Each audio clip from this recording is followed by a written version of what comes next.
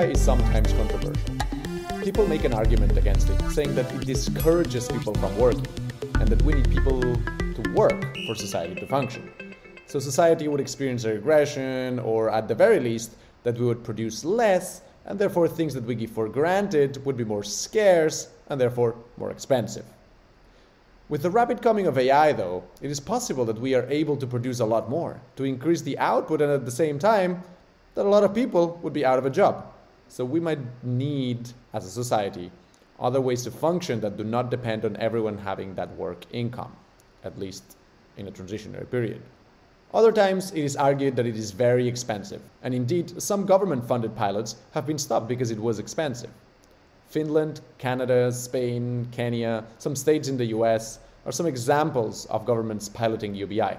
And the results suggest that it could be a valuable tool for reducing poverty, improving health and well being, and boosting the economy.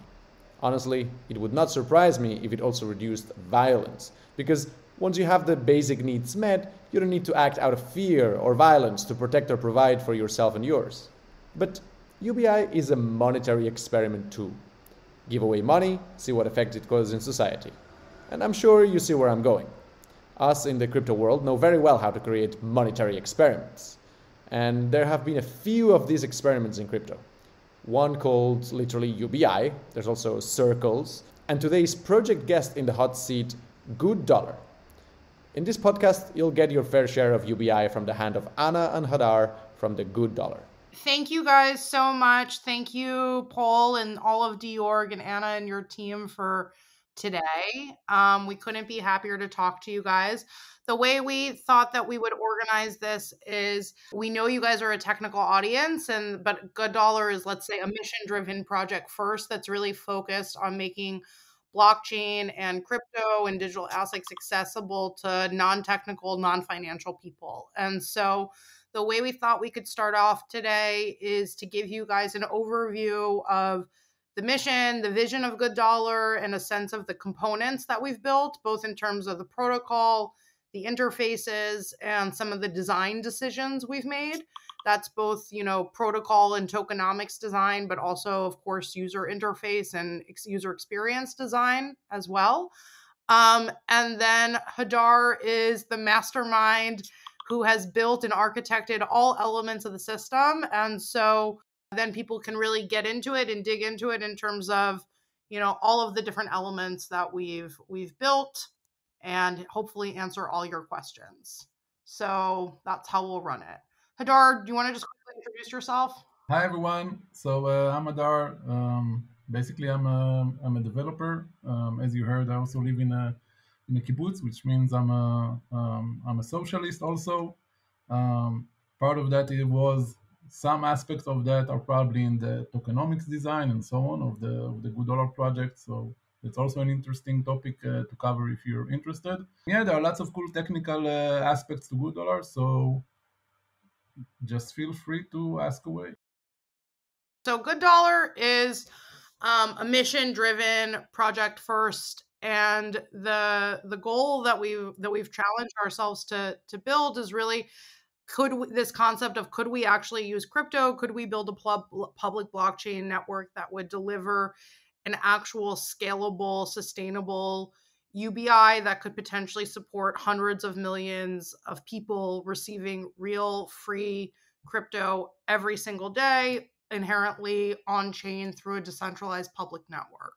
Just to provide the context right? So like global inequality is the challenge of our time. And if you're like me and Hadar, who have been working, and I know many in the DOrg community um, are people who've been working in the crypto space from 2015, 2017, 2019. Um, really, at least for, I can speak for myself, like what attracted me to this industry was actually the the potential paradigm shift for uh, blockchain technology and DLT tech to actually meaningfully impact uh, the challenges that plague our world regarding lack of financial access and lack of financial inclusion. So there's this tremendous potential for crypto to actually reach people who are underserved uh, by financial services, who are unbanked, who don't have access to basic financial savings, investing tools, payment tools. But we also know that most projects in crypto haven't built anything that's designed to reach those people or provide them with a good onboarding to blockchain or to provide them with assets that are actually fundamentally useful. But this is actually where the long game is and where there's the real potential for this tech to, to make a real impact on society. And so the mission behind the Good Dollar Protocol is actually, like I said, motivated by crypto UBI and, and really this fundamental belief that we need to let money flow to places, to the people who need it most, and where capital is the scarcest and the most expensive. Um, and that is a moment that you know we've been working on this project since 2017 and and has really been looking to prove out that use case so how we can use the infrastructure of web3 to actually create a scalable, sustainable crypto universal basic income uh, system, if you will, really motivated by the fact that now, you know, preaching to the choir here, anyone who has access to the internet can get access to a non custodial wallet.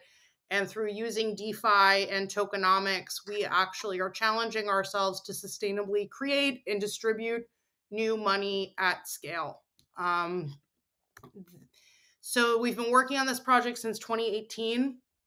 It's actually primary amount of funding is coming from eToro and other centralized exchanges, but the goal is actually to build out a public network as a public good that's funding crypto UBI.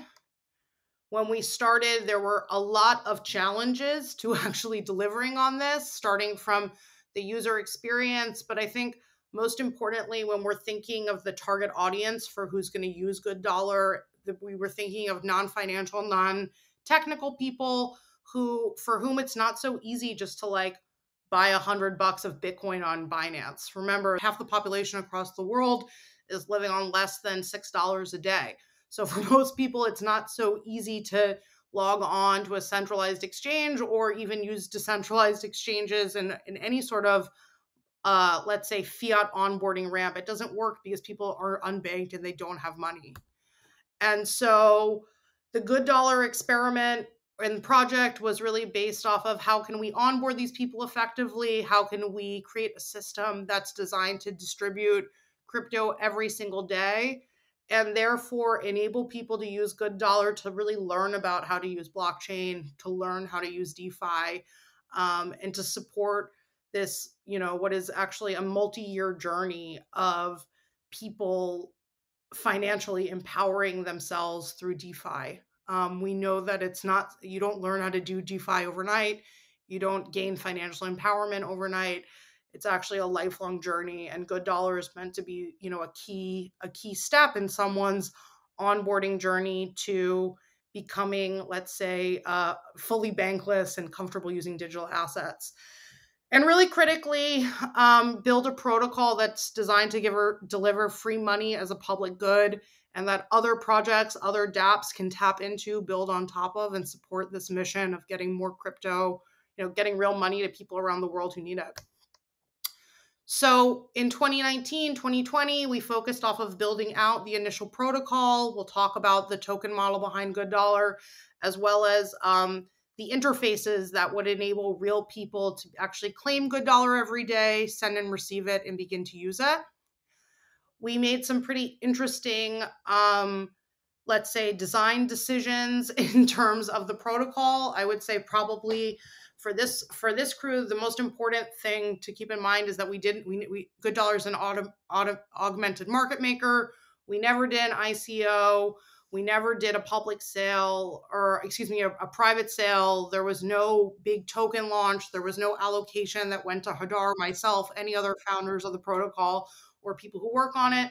The whole idea was to create a protocol that's designed to issue good dollar tokens to support a UBI infrastructure ecosystem. We'll get into that in a second, but pretty unique and important to what we believe and who we are. As of this year, actually last year, we're the world's largest UBI community in the world. So we've onboarded over 500,000 people in over 181 countries into Good Dollar who are using Good Dollars. Here are some vanity numbers, if you will. We've onboarded around five half a million people into Web3. We see people uh, really using the good dollar tokens that they're distributed as UBI as transactions, which I think is, you know, a goal here. We want people using good dollar as real money to do real things. We'll talk about those use cases.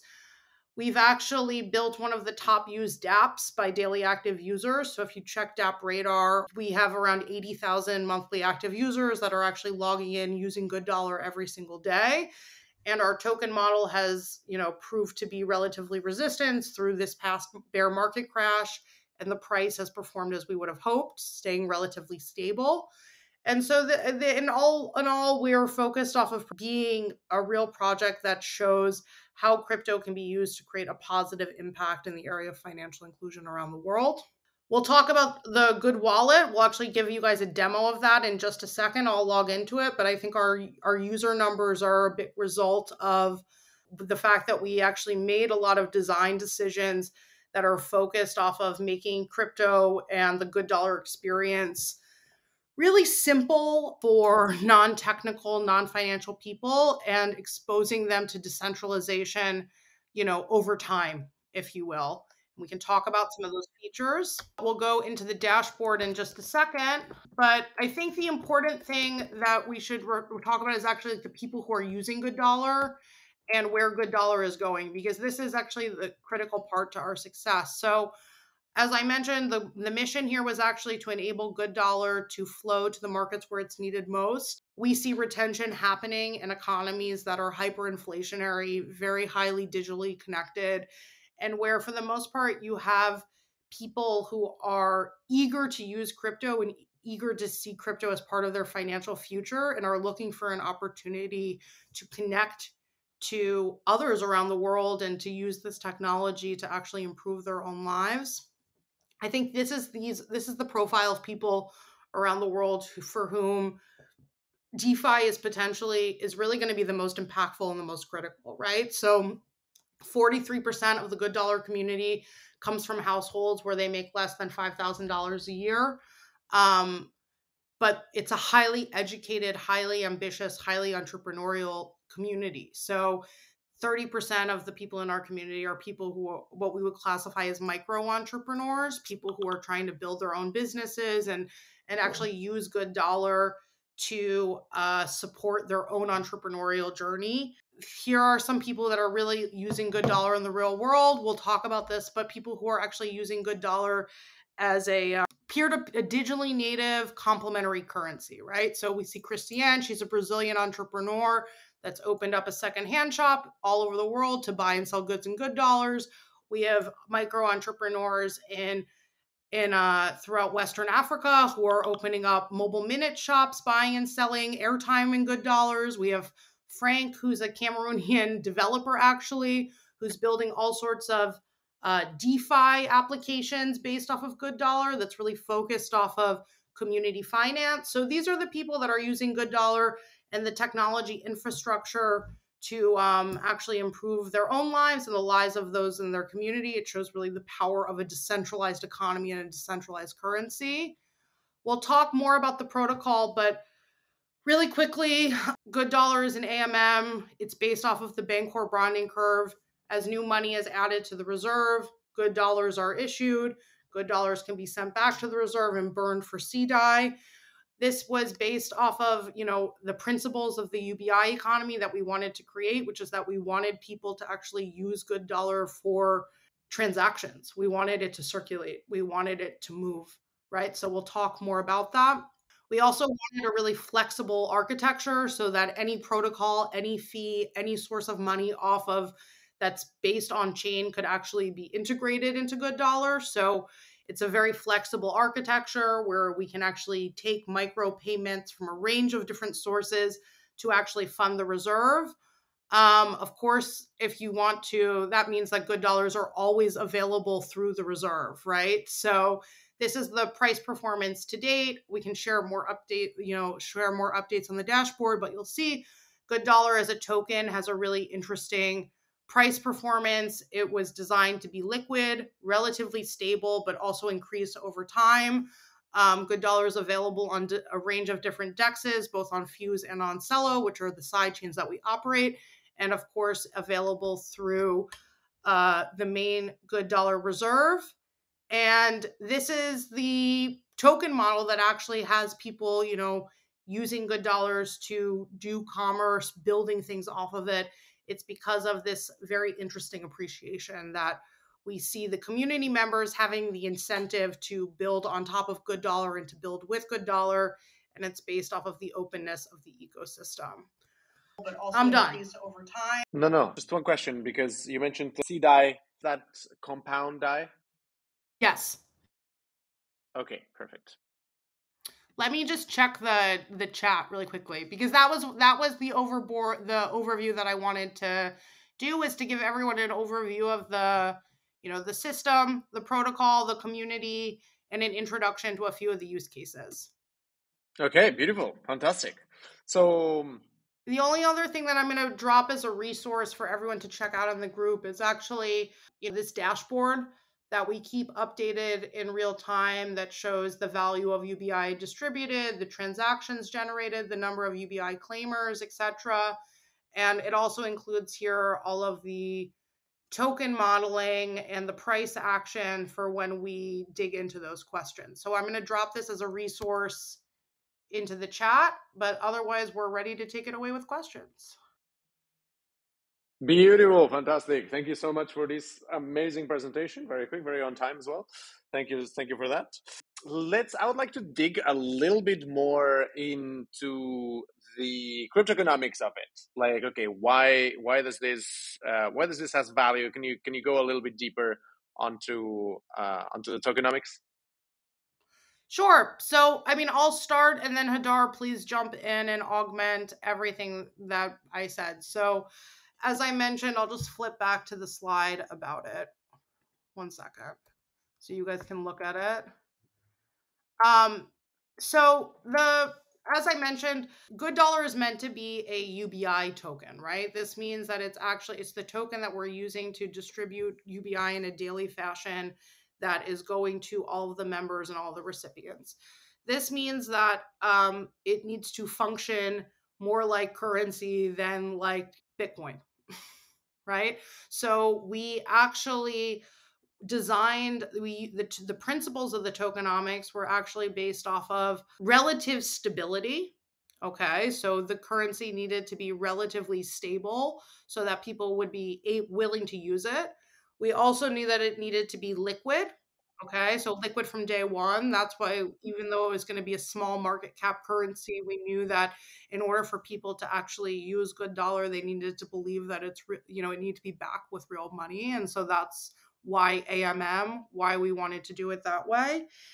We needed it to be sustainable. So we also knew that we needed the protocol to be designed in such a way that many different sources of funding from many different let's say many different token assets and many different from many different sources would actually be able to all funnel towards towards funding one productive universal basic income and that's basically the good dollar reserve if you will. And so as new money is added to the reserve from a range of different sources we issue new good dollars and as the circulation and as the usage increases in terms of the the supply of good dollars um, that's out there, we actually begin to leverage the currency and so create more demand for it. So the goal here is actually to have a UBI economy that is naturally balancing supply and demand and while be while still you know having that relative stability there is still a market incentive for holding good dollars. There is still a market incentive for buying good dollars. There's a market incentive that creates the the you know enough let's say excitement and demand and, and for and belief for people actually to build stuff on top of good dollar. And um, that's why the currency is designed to very slowly but steadily actually increase in value over time to generate that trust and incentive in the system. Okay what are these incentives though? Oh you mean in terms of like you it, it's it's you mean in terms of the price curve no, no, like you said, there's incentive to hold good dollar. There's incentive to uh, build on top of good dollar. Is that like is the, are they actual like what are the actual incentives that there are there? First of all, what we're trying to do is, you know, think of what are all of the different critical components of like a UBI economy, and then we're trying to design the protocol in such a way that we're actually enabling the the good dollars to flow to the key market participants, right? So I'd say first and foremost, we're focusing off of you know enabling good dollars to fund to support community initiatives. We also have you know created a few new features that enable people to actually stake and earn in good dollar. Um, we're working on a few new incentives that actually will create you know we're looking for partners and protocol partners to actually integrate good dollar. And so right now we're in the plan we're like thinking around okay how do we create the right incentive for other partners to build off of us? How do we actually incentivize them through you know enabling them to have their own ubi streams to direct to their own members of the community? And so the the incentives are a you know let's say we're, we're we've added new incentives and new good dollar flows in each version of the protocol that we've done and the idea is actually enabling you know creating the right mandate that enables both the community members who are the most active in good dollar to earn more and creating the right incentive for other partners whether they're protocols or dapps to actually integrate good dollar which typically has to do with giving them their own ubi runoff. Hadar? What I wanted to add is so a little bit more about um, how it's uh, it's implemented. So Anna mentioned the mentioned the Bancor uh, curve. So the way that Good Dollar is implemented, there's no Anna mentioned it. There's no pre-minting. The only way for you to uh, the only way to get good dollars, new good dollars into the circulation, there are two ways. The first one is to is to buy them from the from the reserve which is uh, based on the Bancor uh, AMM.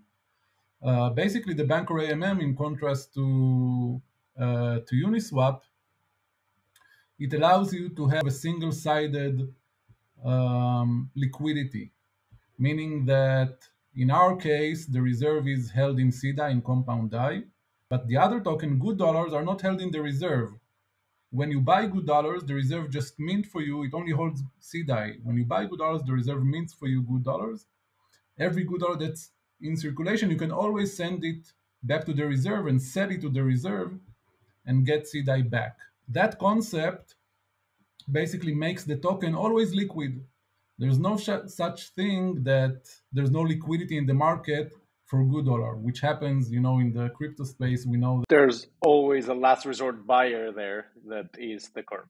Yeah, exactly. So yeah. it also acts like sort of uh, you can call it the central bank of um, um, of the good dollar uh, ecosystem because basically good dollar what we envision you know it's like sort of an economic system economic framework that's what we want to do and the basic thing of an economic framework framework is you know the currency um, so yeah, so it's always liquid, and that's meant to make it also uh, trustable. Um, and it can go to zero, like you know we see in the market happens all the time when everybody dumps uh, everything on the market. And another interesting aspect of the reserve is that it has uh, something that's called um, the reserve ratio. No, the, if you can open good.org uh, on Ethereum and try to buy from the reserve, so the, the second aspect that the AMM has is what's called the reserve ratio, uh, which is used for, we use it for two things. Uh, first one is basically to leverage, right? How do we create UBI? Whatever is in the um, in the reserve, we leverage it and create more good dollars on top of it. So let's say if there's like one thousand dollars worth of um, CDAI in the reserve, uh, we can leverage it and to create, uh, let's say, 1,100 uh, dollars worth of good dollars. And those 100 uh, good dollars, the, the extra 100 dollars, we uh, distribute as uh, as UBI. So that reserve ratio determines the the amount of leverage that we can do. Um, but it also determines the, the volatility of the AMM. So the higher uh, the reserve ratio, the lower the volatility is. And this is also something that um, maybe Anna, you can show it. You can show that if you want to sell to the reserve, um, let's say type in the in the good dollars amount, you can type one trillion, for example. Uh, yeah, one million, one billion, for example. So currently in circulation, I think there are five billion good dollars in circulation. Um, and if Anna will try to sell um, 1 billion, which is a fifth of the circulation, you will see that it would still have not a huge amount. You need to connect your wallet and to connect with. I know, I know. I'm having an issue connecting my wallet, of course. So hopefully you will be able to see that even if someone tries to sell a fifth of the tokens in circulation, still the effect on the the price impact is not going to be uh, huge. Um, and that also means that's why we, I think that's one of the reasons why in the bear market, good was doing relatively well, um, because there's no fear of run of the bank. You don't see uh, the price goes up and down with uh, tens, uh, you know, 15, 20% a day or something like that. It, it, just can't can't happen because no one holds like a fifth of the, the circulation. So yeah, that's what a little bit about um, the AMM and the reserve. Okay, excellent. Yeah, thanks for that. Let's have uh, one question on the more on the like on the value and sort of like on the supply or of this reserve. Garrick has a question on this. Okay, I'll, I'll ask uh, Gary uh, Gary because I wanted I wanted to touch on this before we go on to the other side, which is on like how the how the minting works. But um, so what are the incentives for? You said that it was bootstrapped by eToro. Um, what were what are the incentives for the sources or the donors or or to, to provide this funding for the reserve? So well basically the most the, the basic incentive is just um, token speculation like uh, like on any other token so since since we started you know the token appreciated uh, i guess 70% at the highest it was uh, 90% um, so and if you want to invest in a token that also does uh, you know has a good purpose and actually has a real uh, real use case behind it has a lot of users behind it has a real economy underlying uh, underlying it and which only gonna get stronger then you might invest in it. That's the that's that's the reason why most people uh, bought from the reserve because um, you know they believe in the in the mission and they just invested it as a speculative asset um, we do have other um, staking um, staking contracts. So originally, um, originally we also had staking contracts for stable tokens that you could stake your stables and earn some uh, rewards in good dollars. Um, but right now we remove that. And basically, if you want to, in the in the current staking contract, you can stake either stables or you can stake good dollars and you can earn just the, the governance tokens. If you want to have um, um, an effect on the on the protocol, then uh, you can stake and earn governance tokens, which are non-transferable, which is also, um, I guess, sort of relatively unique aspect of uh, of the good dollar protocol, where the governance is not you can't buy governance, right? You have to uh, participate um, in order to acquire uh, influence. Um, we are soon going to launch on Celo um, a savings contract that's going to have like a fixed fixed percent uh, fixed uh, five percent yield, where you'll be able to stake your uh, stake your good dollars and earn um, a fixed five percent. That's going to be launching soon, probably um, next month.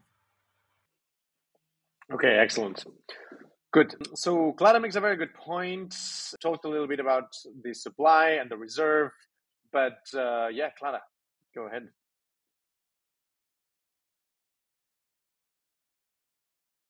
Thank you guys for your presentation. So I wanted to know more about like how you distribute money and basically like how do you, if you do like filter candidates and um, mm-hmm. how much money to allocate is in function of the, the wallet Yep. Yeah. So can you, is that all your question, Clara? How we distribute, how we how we filter? Exactly, and how you allocate the money to the yeah. end users. So yeah. Okay, so basically we started as a universe. It's it's a universal basic income. That's the the basic uh, premise. That's how we started. So everyone can uh, can open a wallet um, Anna hopefully will soon uh, share the the wallet screen. and you can open a wallet. It's non-custodial. Uh, we use uh, what's now called uh, Web3 Auth. So you can log in with uh, Gmail or Facebook or your mobile phone. Um, and Web3 Auth uh, holds in a distributed system. They hold the private key in like they split it um, in, into different uh, um, different validators hold different parts of your key. Um, and once you log in, you um, you get the private key into the into the web app.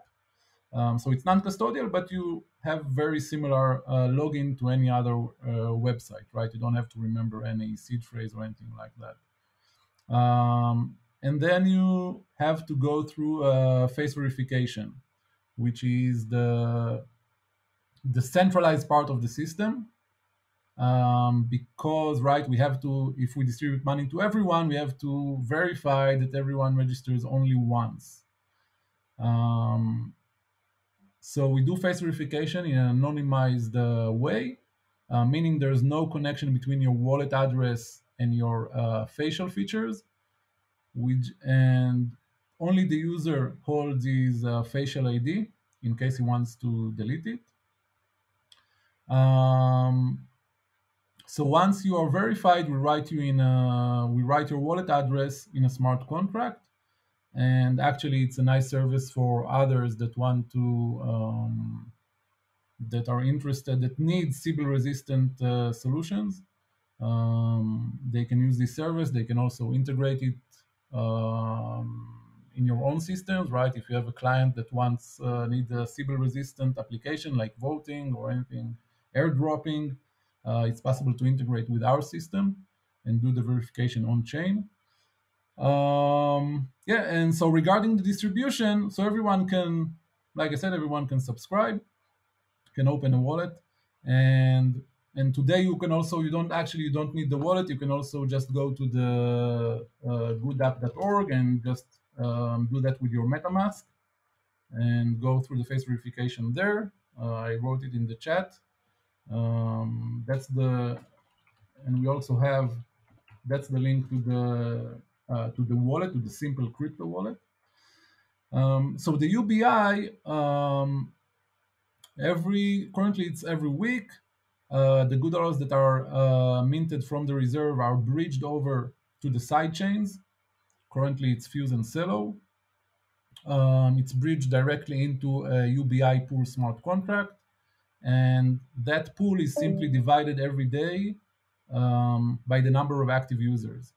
So if there's uh, if the daily pool is uh, three million and there are um, I don't know ten thousand um, active users, then everyone is going to get I guess three hundred uh, good dollars, something like that.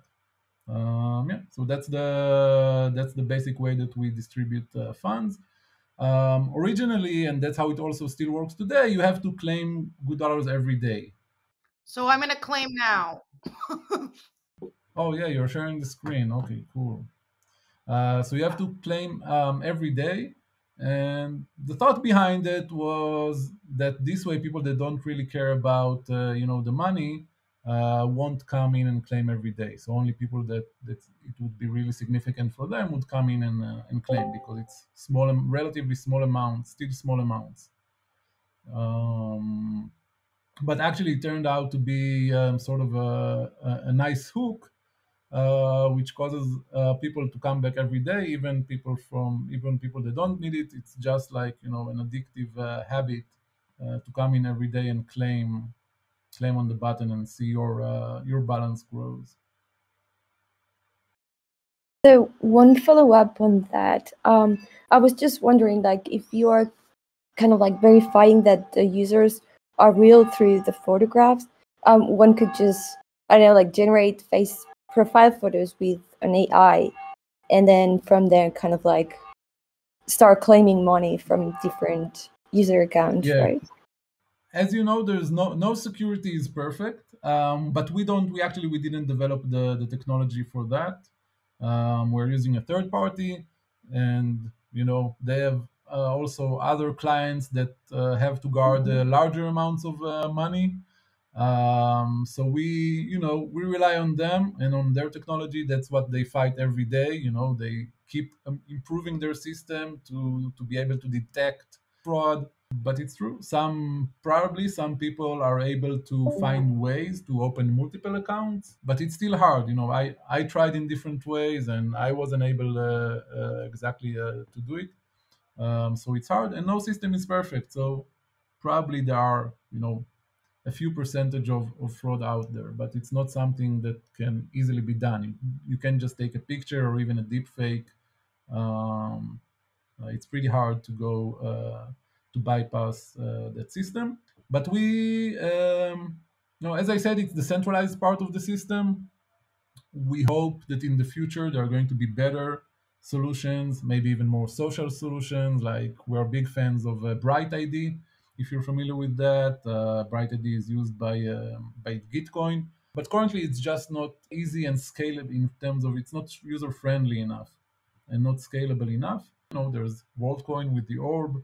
Um, who knows uh, what what the future holds Hey guys, this is Nick. I thought I'd jump in real quick. Uh, appreciate the presentation, by the way. I think it's a it's a great idea and uh, definitely moves towards the greater good uh, of humanity. So, um, but I had a couple questions. Um, I, I, was curious just to find out your perspective on, you know, as it pertains to like regulatory changes around cryptocurrencies and decentralized finance. How does Good Dollar plan to ensure compliance and adapt its system to maintain operations and protect its users? So it's a great question. Um, I would say that, like, first and foremost, I'm not gonna, you know, I'm not gonna waste any breath here in terms of predicting what's gonna happen with the regulatory environment, let alone on like a global, on a on a global level, if you will. But I, I can tell you, you know, what we've learned from experience, right? And uh, through my own experience in coming to crypto, you know to to learn how to operate on chain is like i'm not technical i'm not a product person i was never a software engineer i've like actually you know you you only learn through losing and you learn by doing and this is something that i find really tr- true to not just my experience but the experience of like thousands of people that i've met and mentored through web3 not everyone is you know even technical people get lost right? But particularly if you're non-technical you actually need to you can't run a marathon on day one. You actually need to like build up and and, and get fit if you will. And so we actually see good dollar you know more as an educational asset than like a let's say like a wealth building asset per se compared to the other tokens that are out there and the other let's say assets that focus more let's like that function more like other uh investment properties, if you will. Um, Good Dollar is actually designed to enable people to get into a non custodial wallet. It's designed to give people real digital assets that enable them to work on chain in a non custodial model. It's designed to actually enable them to learn by doing and learn how to, you know, learn how to operate in this model without money that they need to purchase or speculate on in order to get into the game of learning how to use crypto. And so it's designed to actually enable people to learn how to use these assets without having to put money on the table and risk their life savings. And there's a tremendous amount of value in that. And the, you know, we actually participate in a range of different um, forums, if you will, that work as either trade association, blockchain association, World Economic Forum, a few uh, crypto council for innovation, a few others who have looked at good dollar actually presented good dollar to regulators and others because they recognize the value of um, the education if you will and enabling people to really learn by doing and also the fact that our system is is designed to actually showcase the benefits of um, a distributed decentralized model versus a model where there's a gatekeeper that's actually permissioning who gets access to payments, who gets access to savings, etc. So I won't speculate on like how we're going to ensure compliance in every single place other than to say that the way we we've tried to build the system to be as let's say socially responsible as possible. That means that we position good dollar as a learning tool um, to all of our users. We are not encouraging you know vulnerable people or people without access to to to funds to actually speculate on this currency. We're not requiring them to put any money on the table and really are trying to be and and in terms of the tokenomics we're trying very much to to prove out a particular use case that enables people to begin to use good dollars as part of that larger journey towards learning how to use defi and having them have actual tokens that they can begin that they've received for free where they can begin to learn how to deploy liquidity or learn how to use community savings apps or learn how to take a crypto based loan. And i think as long as we we stay true to that mission which is education first and really um, creating that environment for our members that's the best way that we can add value to them and to the space and and also let's say mitigate the risk of the regulatory environment. Okay fantastic. Good perfect we're we're run out of time. Um, i'd like to thank you very much for for coming here and doing this presentation. If i think ubi has been a, a, a huge topic and uh, it it will be even bigger now because we've we're in the middle of a transition um, on a sort of like a like civilization scale transition right now with uh, with large language models and and AI and all this sort of stuff that definitely are going to push a lot of people outside of what we have as our main sort of wealth distribution system, which is getting paid um, by doing work, all of a sudden, very, very quick, a lot of this work will become very irrelevant. So UBI solutions are um, are definitely on the order as a I don't know if as a final solution or as as a transitionary phase to maybe something different in the world. Um, so so definitely, uh, I'm super glad that we could have this conversation and that there's some people uh, like you guys working on it right now because that's something that uh, if I had to bet, I, I, I, bet that we're gonna we're gonna need it real real soon, um, a, a, lot sooner than, than what we thought. This is more relevant than ever. Yeah, but eventually the only way to, to fund UBI is if we if we make um, you know AI a public good that's owned by the public, then we'll be able to use it to fund UBI. But if the AI is going to be still owned by private corporations, then we are just going to be uh, bidder slaves. So we have to build more public goods, more democratic organizations, more democratic DAOs that actually control and govern those AIs. A hundred percent. We're tackling our portion of it, which is actually to create a viable universal basic income system that has the potential to really scale and with a token model it's designed to support that. And that's you know hoping that more and more projects and protocols see value in that see the real utility behind you know the hundreds of thousands of people around the world that are actually using good dollar as money if you will to improve their lives and and are able to get on board with the movement and help support the cause. And with that thank you very much guys we put a wrap to today's DORG hot seat. Thank you so much for coming and presenting this. And um, yeah, we, we look forward to your success. Awesome. Thank you for having us. And thank you, DORG, for all you do for the space and, and highlighting the awareness and the importance of public goods builders. So thank you for that. Thanks to you guys. Have a good one. Ciao. Bye. Thank you. Bye.